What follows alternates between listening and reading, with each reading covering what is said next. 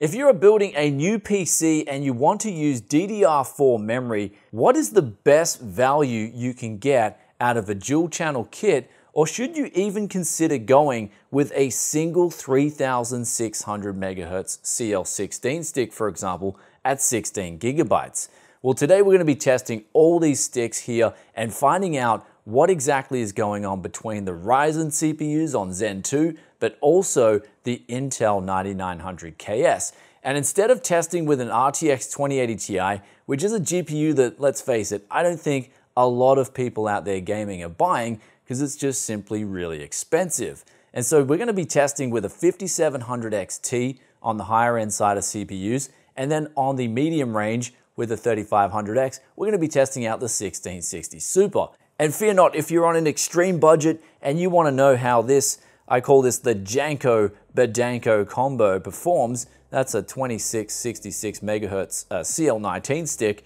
Uh, what are you going to get in terms of performance? Pairing that up in dual channel, is it going to be more beneficial to get, say, a higher speed single stick in that case for gaming, or should you go with what I consider coming into this video the value king? The 3000 megahertz CL15 or CL16. These are on the market and they're actually pretty good value at the moment. They come in at a much lower price than the 3600 megahertz CL16 stuff, for example. But with that aside, let's get all the testing done and give you guys the results.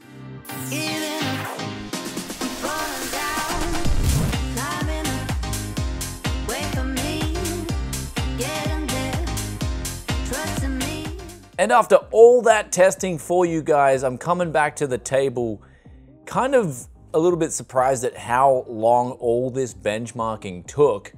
Uh, there was a lot more to test than I thought it would be, and then I got into it. I was like, what about this? What about that? Because I wanted to know going forward what's the best recommendations on both the Intel and AMD side of things when it comes to these CPUs and memory. And so we'll pull up the first benchmark here Shadow of the Tomb Raider with the 3950X versus the 9900KS with the 5700 XT. And this was where the memory pretty much scaled on the Ryzen side with higher speeds. Ryzen liked more speeds and lower latencies. And so the more you gave it on that side of the fence, the better it gave you in terms of FPS.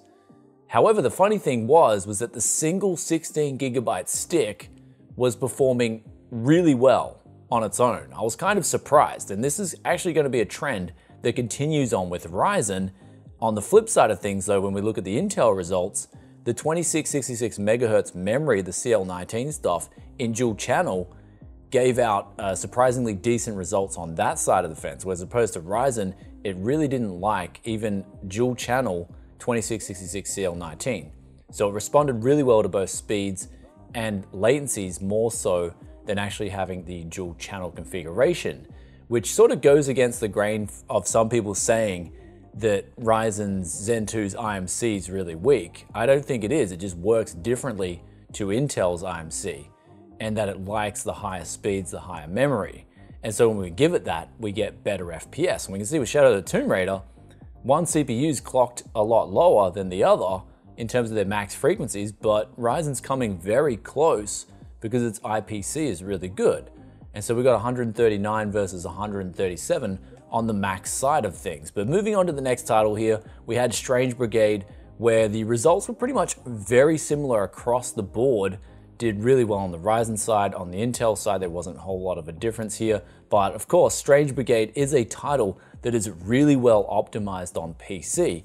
This game should be a poster child for other games out there that how well a game can be optimized on the Vulkan engine and give out pretty much great performance across a variety of different configurations.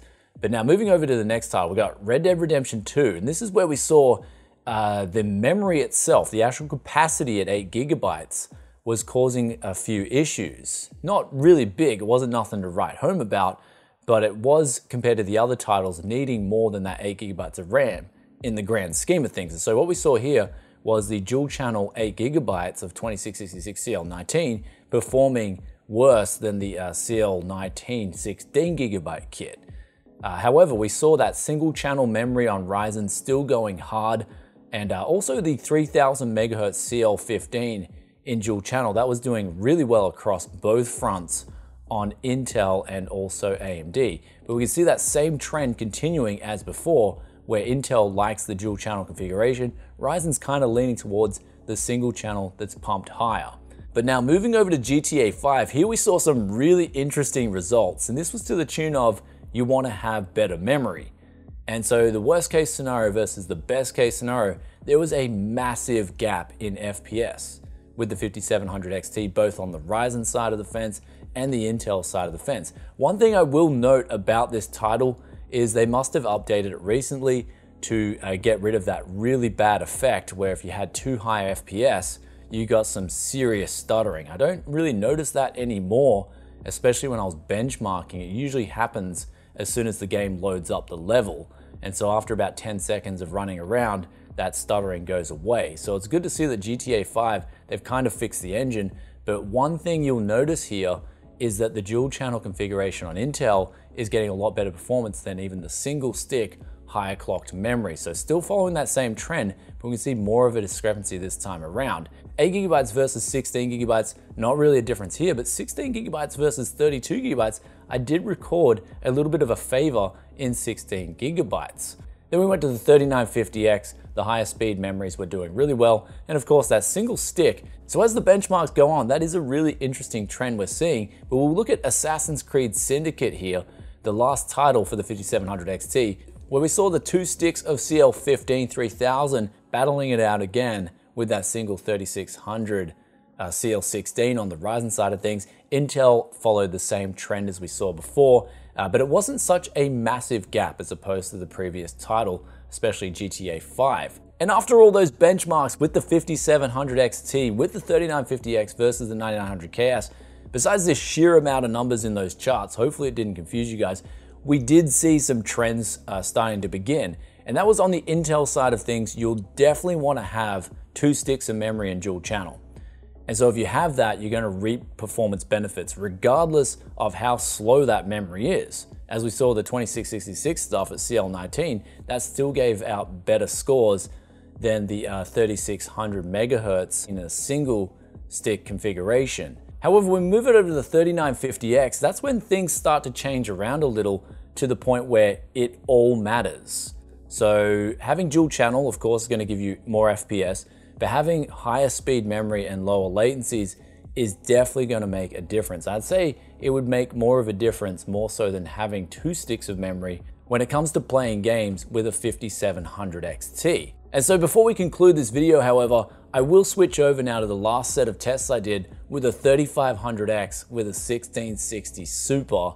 And this was on an A320 motherboard. And what we saw running through the titles here was that the dual channel CL15 3000 megahertz was doing really well. That was sort of like coming in with a sweet spot with the 3500X and the 1660 Super.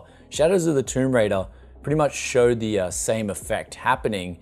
And when we moved through the rest of the titles, uh, GTA 5 and also um, Assassin's Creed Syndicate and also Strange Brigade, we saw that besides Strange Brigade, the 3000 megahertz CL15 memory was really doing well on these sort of mid-range builds. But when we step it over to Ryzen 3950X with the 5700 XT, for example, we found that there was more FPS to be gained by getting a really good kit of memory. Say, for instance, the 3600 CL16 in uh, two sticks in dual channel. So after we did that, we scored extra FPS that really wasn't there if we had 3000 megahertz CL15. So basically, coming out of all these results here today, I'm going to say that if you're on a mid-range build, you've got to match your budget for a mid-range kit of memory because we saw with that 1660 super numbers was that we were losing performance with that 2666 stuff and it really wasn't good at all for Ryzen.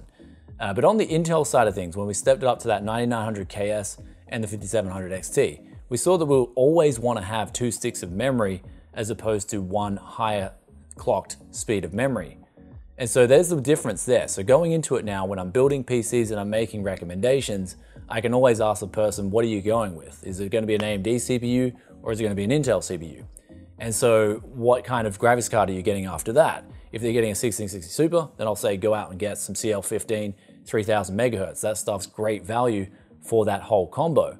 But if they're stepping it up to say a 3900X or a 3950X, and they're getting a 5700 XT or an RTX 27 Super or even better, then they're going to definitely want to spend some extra money on a good kit of memory. That's the conclusion here. I guess it's no surprise that the budget of the memory should match the uh, budget or I guess the level of the build itself. The last thing that came out of these tests here today was if you're on Ryzen and you've got the choice of say getting a 16 gigabyte really good stick of memory, a single stick, and say for instance you're going with a mini ITX build and you may want to go to 32 gigabytes in the future, having a single really high clock stick uh, will be a stopgap measure until you can afford that extra stick of memory. That's something to consider. And that actually really surprised me going in because I thought the uh, two sticks on the Ryzen side would make more of a difference than it did on the Intel side of things. So when it comes down to it with buying memory and Ryzen versus Intel, the Ryzen stuff you're going to want to get, especially with Zen 2 CPUs, a kit of 3000 megahertz CL15 or CL16 or better. I'd say that this stuff is coming in at a really good price point and it's a great starting point for people who want to get smooth and good FPS, as the numbers here showed today. Though if you're going for the real cheap stuff, I would actually kind of avoid it on Zen 2. As we saw the 2666 megahertz CL19, that stuff is like the bottom of the barrel. Even though it's 2666, you're probably thinking, oh, it's decent. The timings are actually really bad. So trying to overclock this stuff even higher, your mileage may vary, but you may only end up getting this stuff to 2800 megahertz, like the 2133 stuff that I've tried a lot of, and that stuff seems to always top out about those levels at around CL16 at best. So with the 3000 stuff, you may have a bit of extra room for getting that up to 3200 megahertz, and it's still all related though at the end of the day to how much you're spending on memory. You're not gonna get a really good bin of memory for very cheap. When it comes to memory, just like CPUs, they do get binned and the better stuff gets sold off for a higher price. So if you come into some 3600 megahertz CL16, that's always going to be a better bin than the 2400 megahertz or even the 3000 megahertz CL16 stuff that you see on the market. Anyways, with that aside, I hope you enjoyed today's video. If you did, then be sure to hit that like button. But before we go, we got the question of the day from Zaros Master 1979. And they ask, you always make $300 PC with old parts. Can you make the same one with Ryzen? And to answer this question, I have done a Ryzen PC recently on the channel where I bought some parts off AliExpress. Came pretty much right around that $300 sweet spot. I'll put the link to that up here where we didn't even use a case at all. But speaking of me getting deals locally on Ryzen, uh, there's just no value there at the moment. Like literally, I can go on AliExpress and get Ryzen parts for better value than I can on local used deals. And so with the local used deals, I'm always getting that real old stuff for real dirt cheap and then making really good price performance out of it. Uh, as soon as the Ryzen stuff does start flowing through locally, then you guys can expect a lot more uh, used Ryzen price performance builds. But as it stands at the moment, it's just a really dry market in terms of used Ryzen parts where I am locally. I have heard from some friends in the US that the market's really picking up there for used Ryzen stuff. So if you're in the US, you'll have some happy times. But as it stands for me locally here on the Gold Coast, Australia, I'm having a bit of a tough time, but I'll do my best for you guys coming up to Christmas. Hope that answers your question and also let us know in the comments section below what you think about all things memory, DDR4, speeds, FPS. Love reading your thoughts and opinions. Also, what kind of kit of memory are you using or what would you go for? And I'll catch you guys in another tech video very soon. And if you're still watching you're not subbed, sub button, ring the bell, it's down there, and I'll see you next time. Peace out for now. Bye.